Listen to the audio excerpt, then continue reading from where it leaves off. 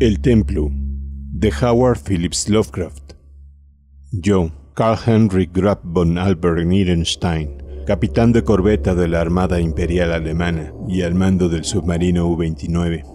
El día 20 de agosto de 1917, deposito en esta botella y este informe en el Océano Atlántico, en una situación que me es desconocida, pero que probablemente ronda los 20 grados de latitud norte y los 35 grados de longitud oeste, donde mi nave yace averiada en el fondo del océano.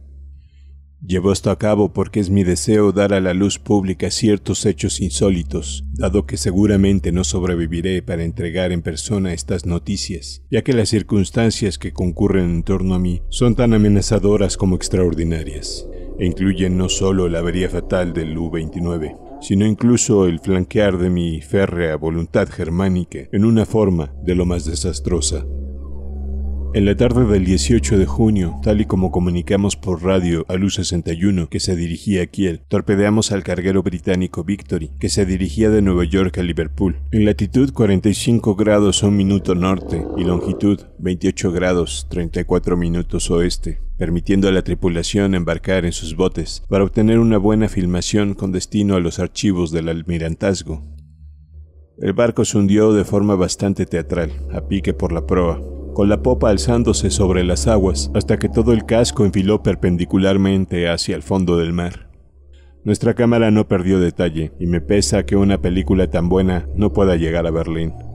Después hundimos a cañonazos los botes salvavidas y nos sumergimos. Cuando emergimos, al ocaso descubrimos el cuerpo de un marino en cubierta, aferrándose de una forma curiosa a la barandilla.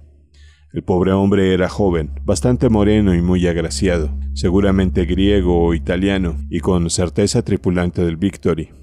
Sin duda había buscado refugio en la misma nave que se había visto forzada a destruir la suya, una víctima más de la injusta guerra de agresión que los malditos perros ingleses llevan a cabo contra la patria. Nuestros hombres le registraron en busca de recuerdos y hallaron en su bolsillo una pieza de marfil sumamente extraña, tallada en forma de una cabeza juvenil coronada de laureles. El otro comandante, el teniente Klins, creía que aquello era muy antiguo y de gran valor artístico, por lo que se apropió de ella. Cómo había podido llegar a sus manos de un vulgar marinero era algo que ninguno de los dos podía imaginar. Al arrojar al muerto por la borda tuvieron lugar dos incidentes que perturbaron grandemente a la tripulación.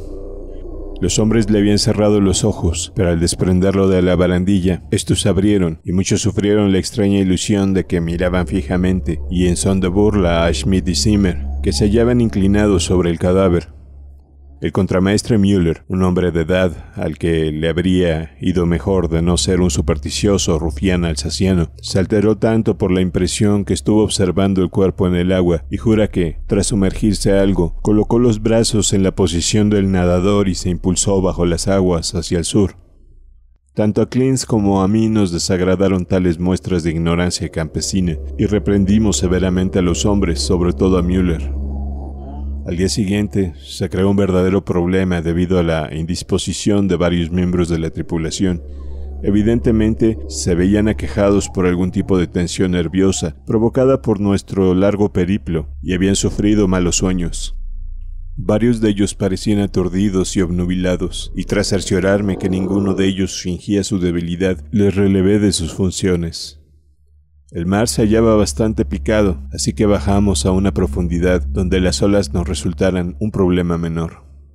Allí permanecimos en una calma relativa, a pesar de la aparición de alguna corriente misteriosa de rumbo sur que no pudimos encontrar en nuestras cartas. Los gemidos de los enfermos resultaban positivamente fastidiosos, pero ya que no parecían desmoralizar al resto de la tripulación, nos abstuvimos de tomar medidas drásticas. Teníamos la intención de permanecer en aquella posición e interceptar el buque de línea Dacia, consignado en la información recibida de nuestros agentes de Nueva York. A primera hora de la tarde salimos a la superficie y descubrimos la mar menos gruesa. El humo de un buque de guerra flotaba en el horizonte norte, pero la distancia a la que nos hallábamos y nuestra capacidad de inmersión nos mantenían a salvo. Lo que más nos preocupaban eran las habladurías del contramaestre Müller, que se hacían más estrafalarias al caer la noche. Se hallaba en un estado infantil aborrecible y farfullaba acerca de fantasías sobre cuerpos muertos flotando al otro lado de las portillas, cuerpos que le miraban fijamente y que él, a pesar de lo hinchados que estaban, había reconocido por haberlos visto morir durante alguna de nuestras victoriosas hazañas germánicas y decía que su jefe era el joven hallado y arrojado al mar. Era algo grosero y anómalo, así que pusimos grilletes a Müller y mandamos que le dieran unos buenos latigazos. Los hombres no se mostraron muy conformes con tal castigo, pero la disciplina es fundamental. Incluso rechazamos la petición de un comité encabezado por el marinero Zimmer, que pedía que la curiosa cabeza tallada en marfil fuera arrojada al mar. El 20 de junio los marineros Baum y Smith, que habían caído enfermos el día antes, se volvieron locos furiosos. Sentí que no hubiera ningún médico entre nuestros oficiales, ya que las vidas alemanas resultan preciosas, pero los constantes desvaríos de ambos acerca de una terrible maldición eran de lo más dañino para la disciplina. Así que hubimos que tomar una decisión severa. La tripulación encajó este hecho de forma sombría, aunque eso pareció apaciguar a Müller, que de ahí en adelante no volvió a dar problemas. Le liberamos por la tarde y volvió en silencio a sus ocupaciones. La semana siguiente estuvimos todos muy nerviosos, esperando a Dacia.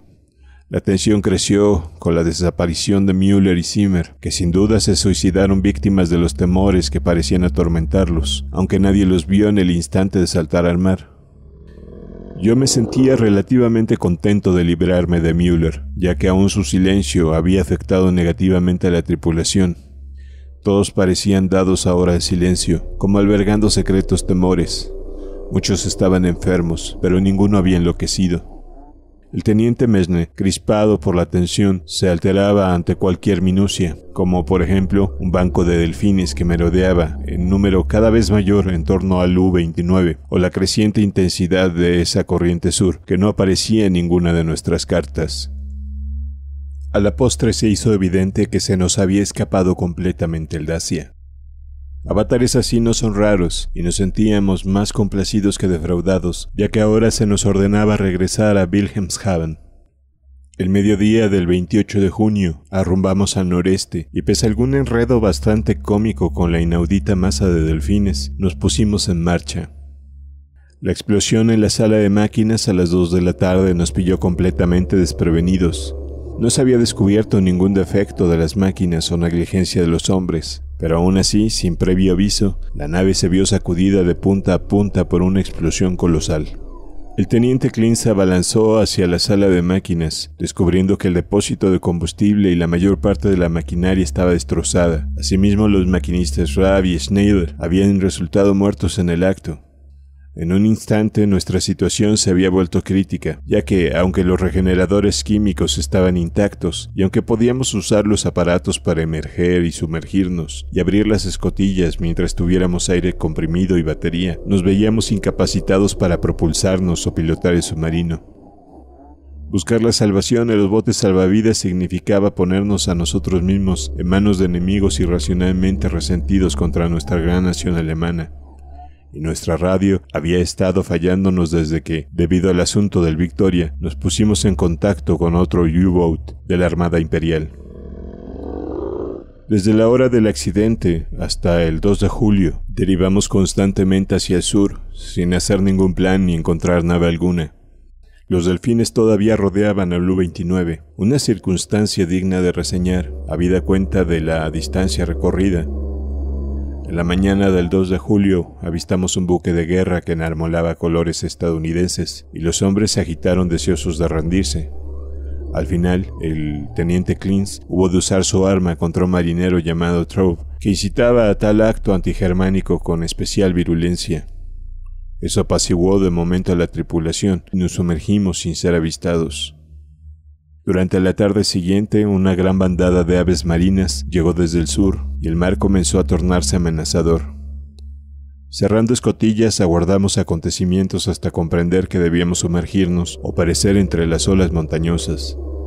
La electricidad y la presión de aire menguaba e intentábamos evitar cualquier uso innecesario de nuestros escasos recursos mecánicos, pero en este caso no había opción. No bajamos demasiado, y cuando la mar se calmó horas más tarde, decidimos retornar a la superficie. Aquí, no obstante, surgió un nuevo contratiempo, ya que la nave no respondió a nuestra guía, a pesar de todos los esfuerzos realizados por los mecánicos. Según cundía el pánico entre los hombres atrapados en esa prisión submarina, algunos de ellos comenzaron a murmurar contra la imagen de marfil del teniente Klintz, pero la visión de una pistola automática les aplacó. Tuvimos ocupados a los pobres diablos, tanto como pudimos, trasteando entre la maquinaria, aunque bien sabíamos que todo eso era inútil. Clint y yo solíamos turnarnos para dormir, y durante mi periodo de sueño, sobre las 5 de la mañana del 4 de julio, se desató abiertamente el motín. Los seis cerdos de marineros supervivientes, sospechando que estábamos perdidos, estallaron bruscamente en una furia maníaca, motivada por nuestro rechazo a rendirnos dos días antes al buque de guerra yankee, y se sumieron en un delirio de improperios y destrucción, Rugían como los animales que eran y rompían indiscriminadamente mobiliario e instrumental, vociferando sobre insensateces tales como la maldición de la imagen de marfil y el joven moreno muerto que nos miraba y, se alejaba nadando. El teniente Klins parecía paralizado, incapaz de respuesta, que es lo que cabría esperar de un renano blando y afeminado. Maté a los seis hombres, pues fue necesario, y me aseguré de que no sobreviviera ninguno. Arrojamos los cuerpos a través de las escotillas dobles y nos quedamos a solas en el U-29. Clint parecía muy nervioso y bebía en demasía. Ya estaba dispuesto a seguir con vida tanto como fuera posible, empleando el generoso depósito de provisiones y el suministro químico de oxígeno, que no habían sufrido de las locas payasadas de aquellos malditos puercos de marineros. Nuestras agujas, barómetros y otros instrumentos de precisión estaban destruidos, por lo que de ahí en adelante cualquier cálculo sería meramente estimado, basado en nuestros cronómetros, almanaques y la deriva estimada, a juzgar por algunos objetos que podíamos atisbar a través de las troneras o desde la torreta. Por fortuna teníamos estivadas baterías, capaces aún de largo uso, tanto por alumbrado interior como para empleo del foco. A menudo barríamos con este alrededor de la nave, pero tan solo veíamos delfines nadando paralelos a nuestro propio rumbo de deriva. Yo me sentía interesado desde el punto de vista científico en aquellos delfines, ya que, aunque el, el, Delphinus delphis común es un cetáceo incapaz de sobrevivir sin aire, observé durante cerca de dos horas a uno de sus nadadores y no lo vi abandonar en ningún momento su inmersión. Con el tiempo, Clint y yo Llegamos a la conclusión de que seguíamos derivando hacia el sur, sumergiéndonos más y más. Reparando en la fauna y floras marinas, leímos mucho al respecto los libros que yo me había llevado conmigo para los ratos de ocio.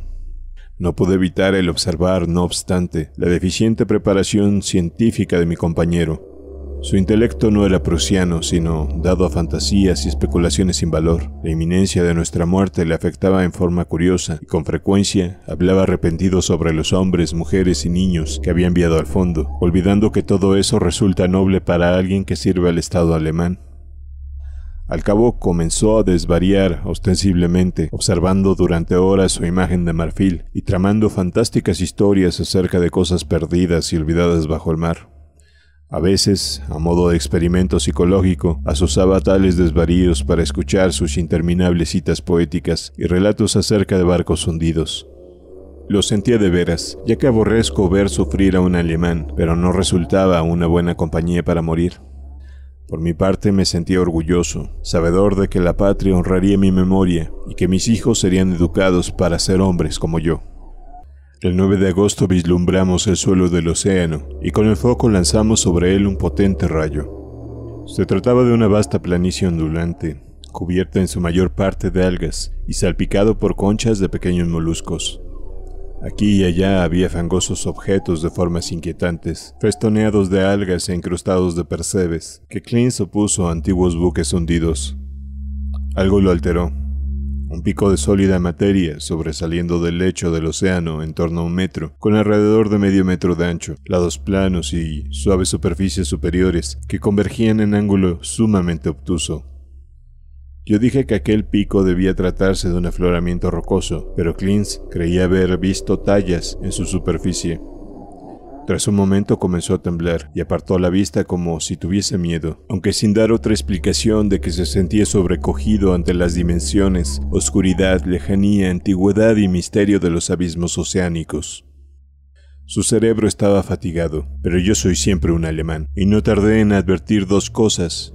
Una, que el U-29 aguantaba admirablemente la presión del mar, y otra, que los peculiares delfines seguían en torno nuestro, incluso una profundidad donde la mayoría de los naturalistas consideran imposible la vida para organismos superiores.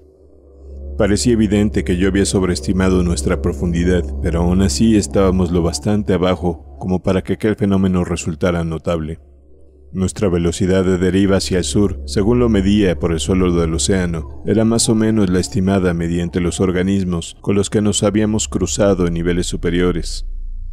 A las 3 y 4 de la tarde del 12 de agosto, el pobre Klein se enloqueció completamente. Había estado en la torreta usando reflector antes de precipitarse en la biblioteca donde yo estaba leyendo, y su rostro lo traicionó instantáneamente. Él nos llama, él nos llama, lo oigo, tenemos que acudir. Mientras hablaba, cogió de la mesa la imagen de marfil. Se la metió en el bolsillo y atenazó mi brazo en un intento por arrastrarme escaleras arriba hasta la cubierta. En un momento comprendí que pretendía abrir la escotilla y lanzarse en mi compañía al exterior. Una extravagancia suicida y asesina para la que yo no estaba preparado. Cuando retrocedí y traté de apaciguarlo, se volvió aún más violento. Vamos ahora, no esperemos más. Es mejor arrepentirse y lograr el perdón que desafiar y ser condenado. Entonces yo abandoné el intento de calmarlo y lo acusé de estar loco, loco de atar, pero él se mantuvo inconmovible y gritaba.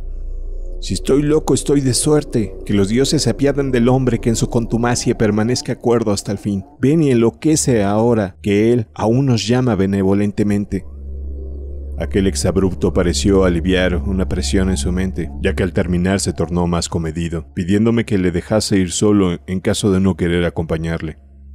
Mi obligación resultaba clara. Era un alemán, pero tan solo un renano y un plebeyo, y ahora se había convertido en un loco potencialmente peligroso. Accediendo a su petición suicida, me libraría en el acto de alguien que era más bien amenaza que compañía. Le pedí que me cediera la imagen de marfil antes de marcharse, pero tal petición despertó en él una hilaridad tan desaforada que no me atreví a insistir. Entonces le pregunté si deseaba dejar algún recuerdo o un mechón de cabello con destino a su familia en Alemania, por si se daba el caso de que yo fuera rescatado, pero de nuevo prorrumpió en esa extraña risa. Así que mientras él subía la escalerilla, yo acudía las palancas y guardando el pertinente intervalo, accioné la maquinaria que le envió a la muerte. Cerciorándome luego de que no se hallaba a bordo, dirigí el foco alrededor, tratando de lograr un postrer vistazo, ya que deseaba comprobar si la presión del agua lo había aplastado, tal y como debiera teóricamente haber ocurrido, o si por el contrario el cuerpo no había sido afectado, tal y como sucedía con aquellos extraordinarios delfines. No logré, de todos modos, localizar a mi finado compañero, ya que los delfines se apelotonaban en gran número en torno a la torreta, esta tarde lamenté no haber cogido subrepticiamente la imagen de marfil del bolsillo del pobre Klins en el momento en que me dejó, ya que recuerdo de aquella me fascinaba. Aun cuando no soy de temperamento artístico, no podía olvidar la cabeza hermosa, juvenil, con su corona de hojas. Sentía bastante no tener con quien conversar. Klins, aún no estando a mi altura intelectual, era mucho mejor que nada. Esa noche no dormí bien y me preguntaba cuándo llegaría exactamente el fin. Desde luego, tenía muy pocas posibilidades de ser rescatado. Al día siguiente subí a la torreta y comencé la observación de costumbre con el foco. Hacia el norte el panorama era similar al de los cuatro días que habíamos tardado en alcanzar el fondo, pero noté que la deriva del U-29 resultaba menos rápida. Según paseaba el rayo por el sur, advertí que el suelo oceánico a proa tomaba un pronunciado declive y en algunos sitios aparecían bloques de piedra curiosamente regulares, dispuestos como respondiendo a alguna planificación. La nave no bajaba paralela al fondo oceánico, por lo que me vi obligado a ajustar el foco para lograr un haz lo más estrecho posible. Debido a la rapidez del cambio, se desconectó un cable, lo que obligó a una pausa de varios minutos mientras lo reparaba, pero al fin la luz se proyectó, inundando el valle marino que tenía debajo. No soy dado a emociones de ninguna especie, pero mi asombro fue mayúsculo al contemplar lo que había desvelado el resplandor eléctrico, y sin embargo, estando empapado de la mejor culpur prusiana, no debía asombrarme, ya que la geología y la tradición nos hablan sobre tremendas conmociones en áreas oceánicas y continentales. Lo que yo vi resultaba una extensa y elaborada panorámica de edificios en ruinas, todos construidos en una arquitectura magnífica, aunque inclasificable, y en diversos estadios de conservación. La mayor parte parecía de mármol, resplandeciendo blanquecino bajo los rayos del proyector, y el plano general resultaba el de una gran ciudad al fondo de un valle angosto, con gran número de templos y villas diseminados por las escarpadas laderas. Los tejados estaban caídos y las columnas rotas, pero aún conservaban un aire de esplendor inmemorialmente antiguo que nada podía opacar. Enfrentado al fin con esa Atlántida, que yo previamente consideraba un mito total, ahora era el más ávido de los exploradores. Alguna vez hubo un río en el fondo de ese valle, ya que mientras examinaba con más detenimiento el lugar, pude ver restos de puentes y diques de piedra y mármol, así como terrazas y terraplenes que una vez fueran verdes y gratos. En mi entusiasmo me volví casi tan tonto como el pobre Clins, y tardé un rato en advertir que la corriente de rumbo sur había por fin cesado, permitiendo al U-29 bajar lentamente sobre la ciudad submarina, tal y como un aeroplano desciende sobre una ciudad en las tierras emergidas. También tardé en percatarme de que el banco de insólitos delfines se había esfumado. En un par de horas, la nave fue a descansar sobre una plaza pavimentada cerca de la pared rocosa del valle. A un lado podía ver la ciudad descendiendo desde la plaza a la antigua orilla del río. Al otro lado, en una sobrecogedora proximidad, descubrí la fachada ricamente ornamentada y en perfecto estado de conservación de un gran edificio, sin duda un templo excavado en roca viva. Tan solo puedo conjeturar sobre la factura originaria de esa titánica construcción la fachada, de inmensas dimensiones, cubre aparentemente una gran oquedad, ya que sus ventanas son multitud y están dispuestas por todos lados. En el centro bosteza un gran pórtico, al que se accede mediante una imponente escalinata, y se halla circundado por exquisitas tallas, semejantes a escenas de bacanales en relieve. Ante ellos se encuentran grandes columnas y frisos, ambos decorados con esculturas de belleza inexplicable, obviamente representando idílicas escenas pastorales y procesiones de sacerdotes y sacerdotisas portando extraños objetos ceremoniales en honor de un dios radiante. El arte es de la más asombrosa perfección, con concepciones impregnadas de helenismo, aunque curiosamente particulares. Emana una sensación de antigüedad tremenda, como si se tratase del más remoto y no del más cercano antecesor del arte griego.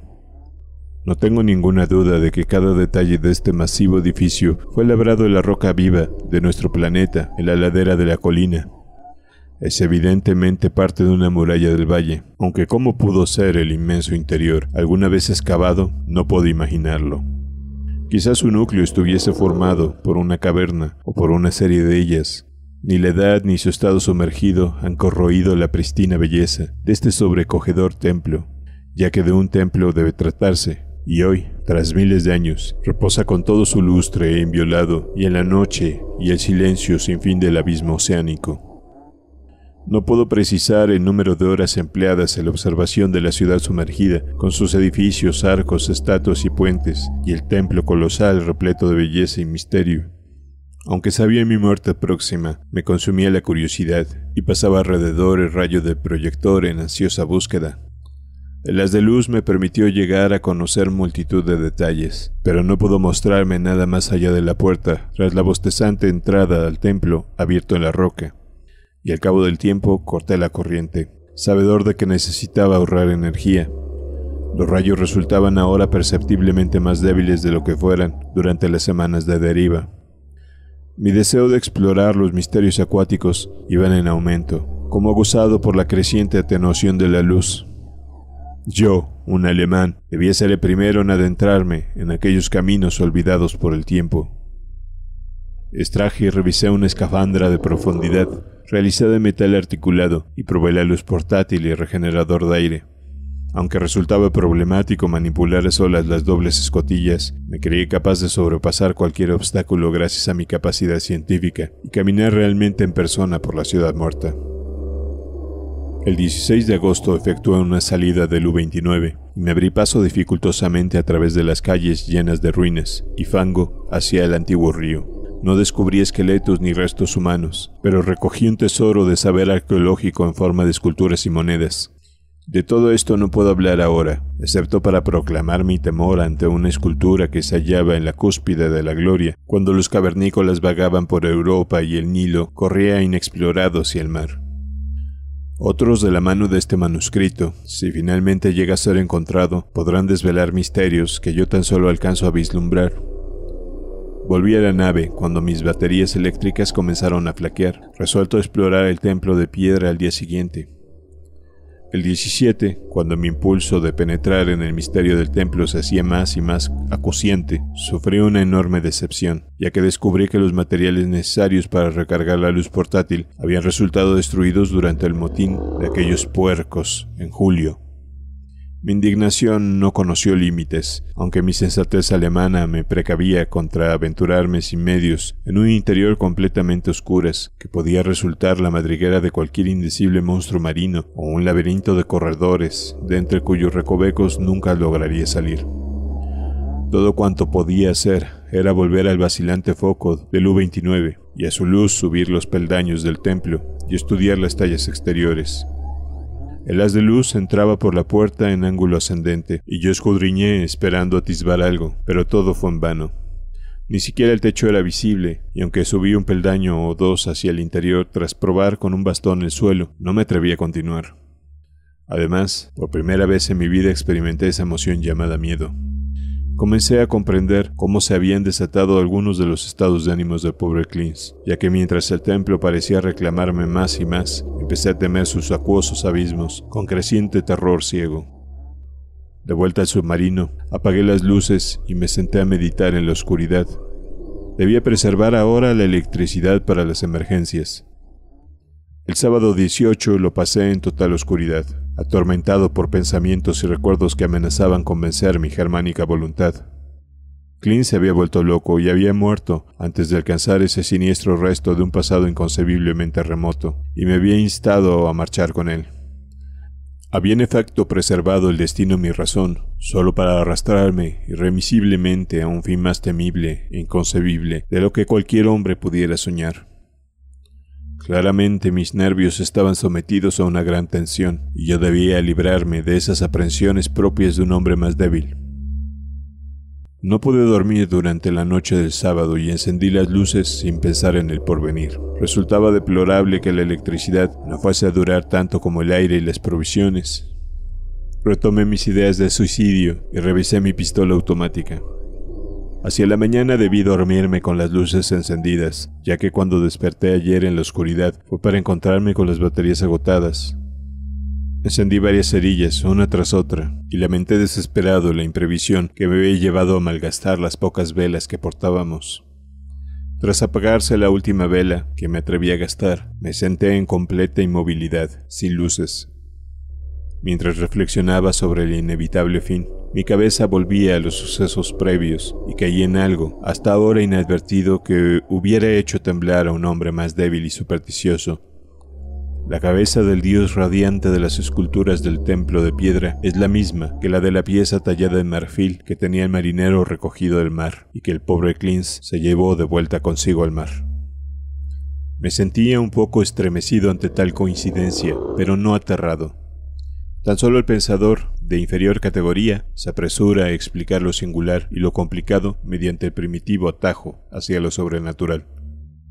La coincidencia resultaba extraña, pero yo estaba demasiado hecho al raciocinio como para conectar circunstancias que no admitían un nexo lógico o asociar de alguna extraordinaria manera los desastrosos sucesos que me habían llevado desde el asunto del Victoria a mi estado actual.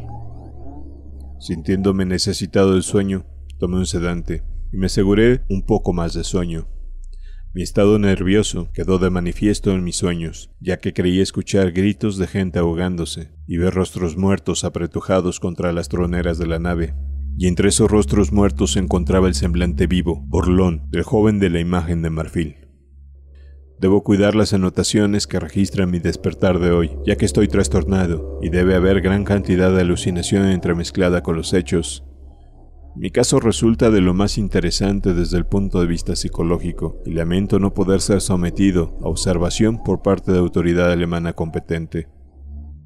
Al abrir los ojos mi primera sensación fue la de un invencible deseo de visitar el templo de piedra, una ansia que crecía a cada instante, aunque automáticamente yo trataba de resistirme mediante las emociones de miedo que obraban en contra. Luego tuve la impresión de una luz en medio de aquella oscuridad causada por las baterías consumidas, y creí ver una especie de resplandor fosforescente en el agua a través del portillo que se abría hacia el templo. Eso despertó mi curiosidad, ya que yo no sabía de ningún organismo abisal capaz de emitir tal luminiscencia.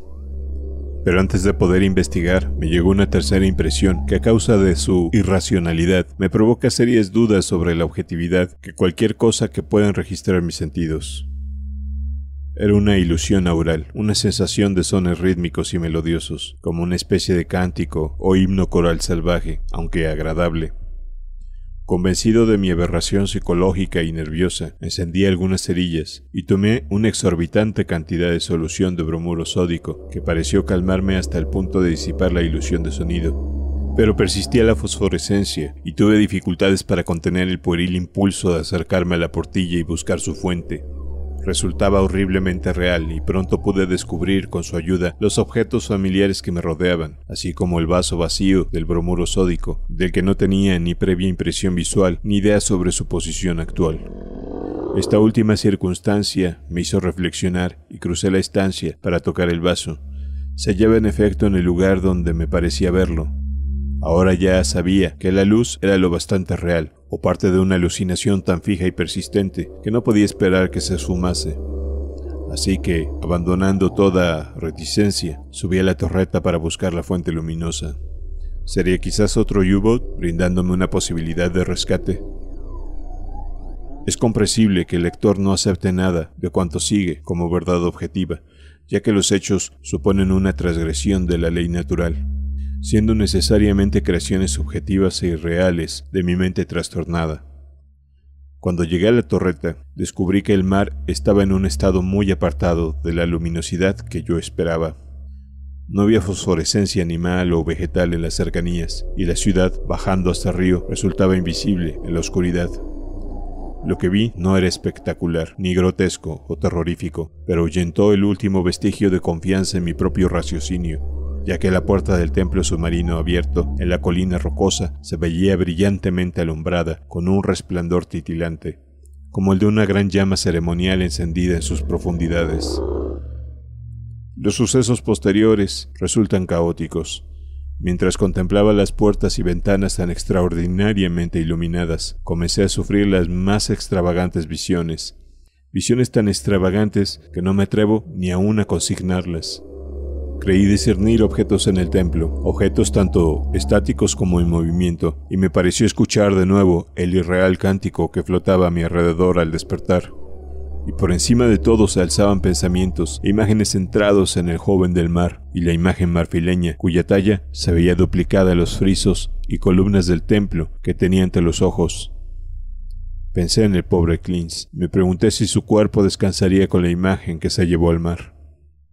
Él me había prevenido contra algo, y yo no le había prestado atención, ya que era un palurdo renano que se volvía loco ante problemas que un prusiano era capaz de afrontar sin dificultad.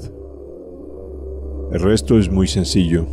Mi impulso de ir y penetrar el templo se ha convertido ahora en una orden imperiosa e inexplicable que ya no puedo desobedecer. Mi propia voluntad germánica no basta ya para controlar mis actos, y la elección en adelante tan solo será posible en asuntos menores Tal locura es la que condujo a Mensa a la muerte, acudiendo a cabeza descubierta y sin protección al océano. Pero yo soy un prusiano y un hombre cabal, y utilizaré hasta el fin la poca voluntad que me resta.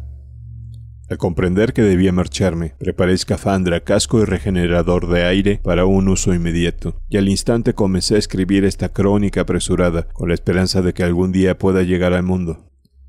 Guardaré el manuscrito en una botella y la confiaré al mar al abandonar para siempre el U-29. No tengo miedo de nada, ni siquiera de las profecías del enloquecido Klins. Lo que he visto no puede ser real, y sé que este trastorno de mi propia voluntad tan solo puede llevarme a la muerte por asfixia una vez que se agote el aire.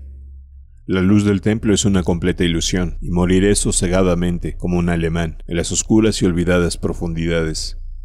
Esa risa demoníaca que escucho mientras escribo procede únicamente de mi propio cerebro debilitado, así que me colocaré meticulosamente la escafandra y ascenderé resuelto los peldaños que conducen a ese santuario primigenio, ese silencioso enigma de las aguas insondadas y los años olvidados. Fin.